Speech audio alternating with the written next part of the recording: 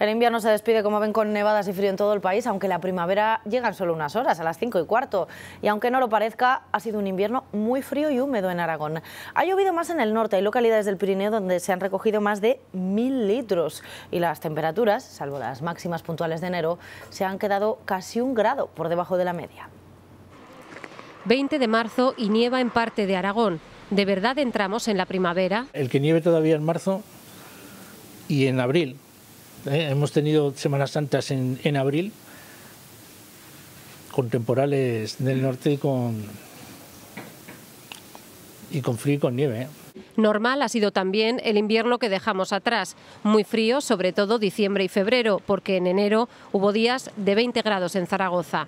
Despedimos una estación que ha sido muy húmeda. Eso sí, no pueden decir lo mismo en el norte de la comunidad, por ejemplo en Formigal. Este invierno ha medido 1.100 litros en diciembre, enero y febrero. Que en localidades de Teruel como Mosqueruela.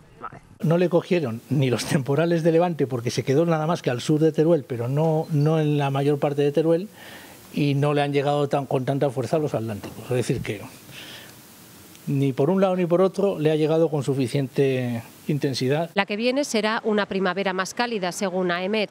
Eso sí, en Semana Santa las temperaturas no van a ser primaverales, anuncian borrascas y buen tiempo casi a partes iguales.